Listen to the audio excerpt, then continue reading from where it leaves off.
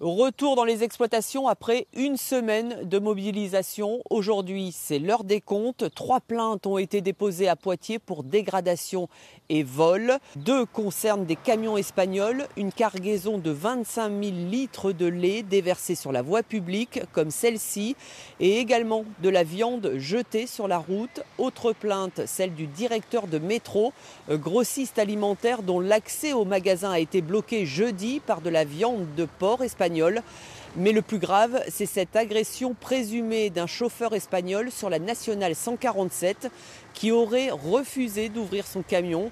Il aurait une côte cassée et des contusions, selon le gouvernement espagnol. Mais en France, aucune plainte n'a été déposée. La FNSEA, organisatrice de ces manifestations, tente de minimiser les faits.